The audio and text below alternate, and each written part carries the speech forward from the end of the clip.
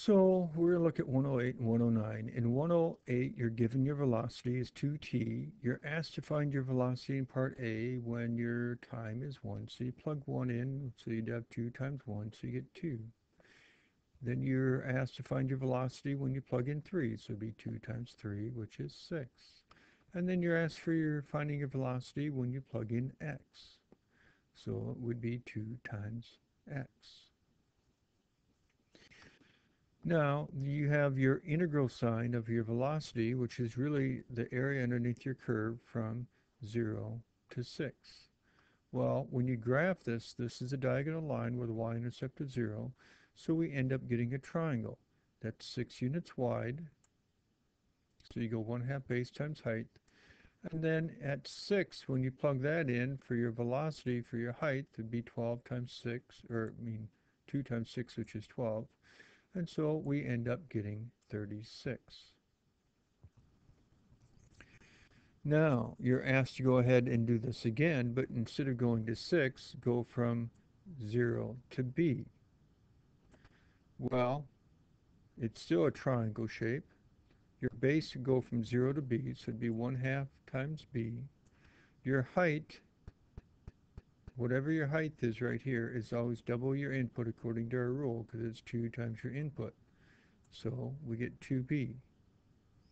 So in other words, your 2 and your 1 half cancel and you get b times b or b squared.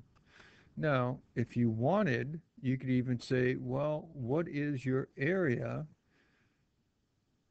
even if you were going to go to t, and well, if you do that, it'd be t, and then a 2t up here your area would be a t squared. Now that's going to uh, come into play at the end of 109.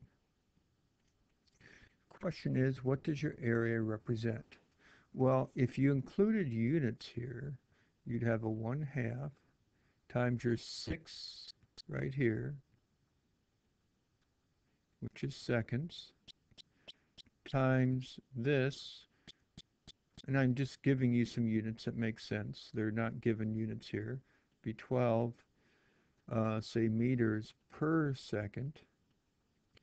So in this case, your seconds drop, leaving you only with meters right here. So that means your units would be meters, which is distance. So the area underneath our curve is representing distance. And I chose to use meters per second and seconds up here. Down here, I chose to use feet per second. Either way, it's units for your velocity, but your area underneath your velocity curve is distance. Now, switching gears in 105 or 109, you're given your distance function. And so if we work this out, this should be time. This should be distance. Now you're not given units, so you could have this being like feet. You could have this being like seconds. It wouldn't make a difference. But sometimes units give you an idea of what's going on here. So then you're asked to find your derivative, which is the slope of your tangent line. So we have to do our IROC of this. So we'll take our limit, subtract your original function, go t plus h, all squared, because it's your input squared beforehand, t plus h times t plus h, FOIL that out, collect your like terms, your t squareds drop. You now notice you have an h in common to everything, take an h out of everything, and you get this. Now that we're no longer dividing by h, we can plug in h being 0. That knocks out that h, leaving us with just 2t. So this is your derivative, which is your slope predictor function that tells you your slope anywhere along the lines. So your derivative is 2t. You're looking for your derivative at 3, so plug in 3, and we would get 6. We're also looking for your slope of your tangent line, your derivative, when you plug in 1. So 2 times 1, or 2. And then we're looking for what it is when you plug in x. So it'd be 2 times x. Now, if you're looking for your total distance after 6 seconds, you'd have to go back to your original distance function right here, plug in 6, and we get 36. Now hopefully you notice there's quite a few correlations between some of the answers in 109 and your answers in 108. Notice how the answers for part A up here match with your answers in part A down here.